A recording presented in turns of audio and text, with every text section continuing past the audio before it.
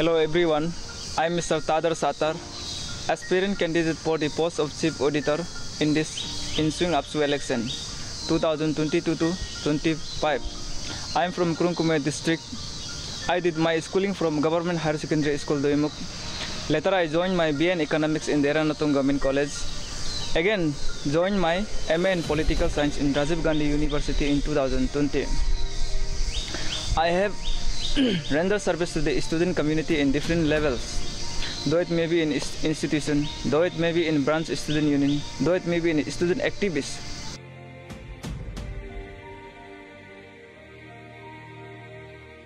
After uh, 16 years of long journey from the student activist, today I am standing for the interest of the student community. Today I am interest for the student of the welfare of the states.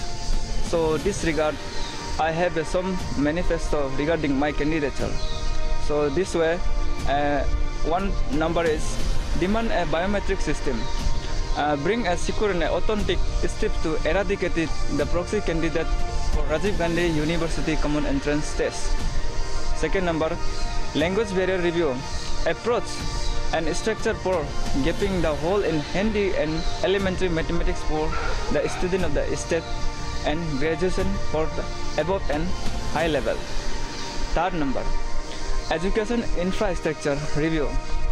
To discuss and brings the solution to many in the states, such as shortage of class teacher, such as shortage of NCERT textbooks, and decent lessons for the student community, especially to the girl child.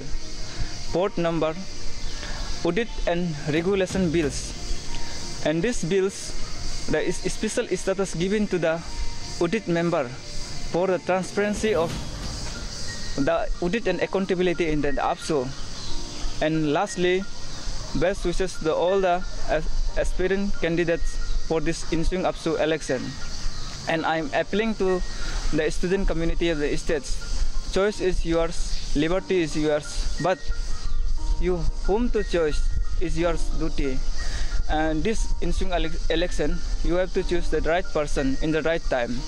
So I'm appealing you all to please mandate your support to your deserving candidate.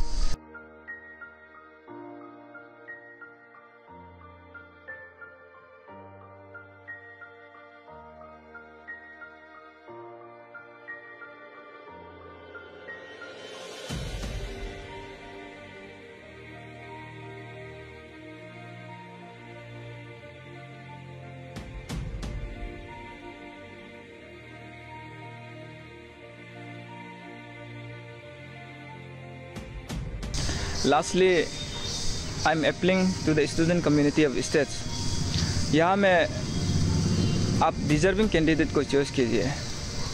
क्योंकि choice है आपका है liberty आपका है choice करना आपका duty है। तो हम नहीं बोल रहे कि हमको चॉइस करना है। आप जो भी डिजर्विंग कैंडिडेट है आप से प्लेटफॉर्म को रिप्रेजेंट कर सकते हैं। उसी लीडर को चॉइस कीजिए। और हम अपीलिंग करता है कि आप सब पीस शांति से अरुणाचल में रहिए और ड्रग एडिक्ट को आप लोग छोड़िए। Thank you